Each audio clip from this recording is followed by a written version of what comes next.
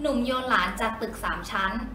ชายชาวไนจีเรียโยนตัวหลานวัย4ขวบ ออกนอกอพาร์ตเมนต์ตัวเองในความสูง3ชั้น ในตัวเมืองมาเลเซีย อันเป็นผลทำให้เด็กชายจากไป สื่อท้องถิ่นระบุว่าเหตุดังกล่าวเกิดขึ้นเมื่อเช้าวันอาทิตย์ที่ผ่านมาเวลาประมาณ 8 โมงเช้า เจ้าหน้าที่ตำรวจจากกรมตำรวจกัวลาลัมเปอร์ อธิบายว่าเมื่อได้รับแจ้งจึงรีบมายังที่เกิดเหตุ โดยพบชายผู้ก่อเหตุชาวไนจีเรียวัย 42 ปีภายในบ้าน โดยทางญาติได้บอกกับเจ้าหน้าที่ว่าชายดังกล่าวมีอาการป่วยทางจิต จึงอาจเป็นเหตุให้ก่อเรื่องนี้ขึ้นก็เป็นได้ แต่อย่างไรก็ตามทางเจ้าหน้าที่ตำรวจก็ไม่ได้ตัดสาเหตุอื่นๆออกไป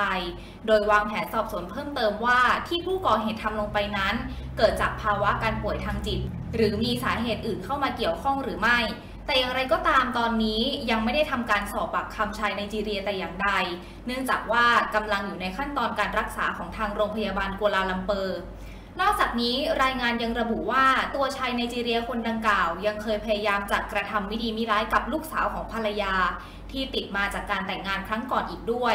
จึงทำให้เจ้าหน้าที่ตำรวจยังไม่ปักใจเชื่อ เรื่องที่เขามีอาการทางจิต และยังได้เตรียมการทดสอบหาสารเสพติดในร่างกายของเขาด้วยเช่นกัน แต่เบื้องต้นณขณะนี้การสืบสวนสอบสวนยังคงดำเนินการต่อไป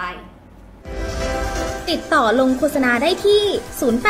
0880 900 800 พื่อติดตามข่าวสารที่นี่ก่อนใคร